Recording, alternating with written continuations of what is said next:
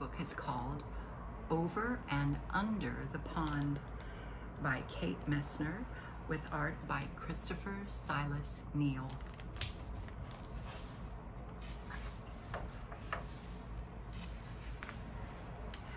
Over the pond we slide, splashing through lily pads, sweeping through reeds. The water's a mirror reflecting the sky, sunshine and clouds, then a shadow below. What's down there, I ask. Under the pond, Mom says. Under the pond is a whole hidden world of minnows and crayfish, turtles and bullfrogs. We're paddling over them now. Over the pond, we skim past tall rushes, whirligig beetles loop and twirl, skaters on a warm summer surface. Under the pond, minnows dart through waving forests of grass, while a brook trout lurks, ready to lunge. Over the pond, we lift and dip and pull past a row of painted turtles on a waterlogged tree. One, two, three, they slip off and away. Splash, gurgle, sploosh under the pond. Over the pond, cattails rustle and shush in the wind. Listen closely, cucklery. Red-winged blackbirds race by. One has grass for her nest. Under the pond, a caddisfly larva builds a home of her own a secret shelter of pebbles and sand. Over the pond, the shadows of trees lean out from the shore. We coast under a low hanging branch. A moose looks up with a mouthful of water lilies. We've interrupted his lunch.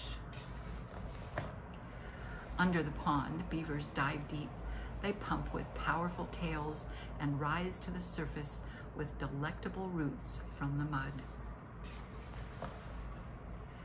Over the pond, the wind gives us a push and stirs the light dappled leaves on shore.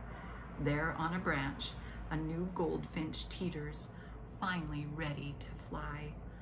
Under the pond, tadpoles are changing, learning to hop. They're losing tails, growing legs, growing up, and there they are. Over the pond, there at the shore, tall and silent and still, a great blue heron stares down into the deep. It tenses, takes one long-legged step, and strikes. It catches a wiggling quicksilver minnow from where it was hiding under the pond.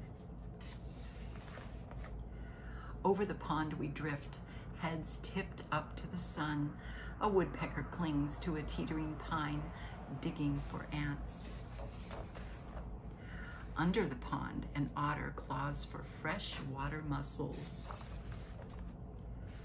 Over the pond, a sleepy dragonfly lands for a rest. His spindly legs tickle my knee. Under the pond, dragonfly larvae watch what swims by. They catch minnows in monster fast jaws. There's one there.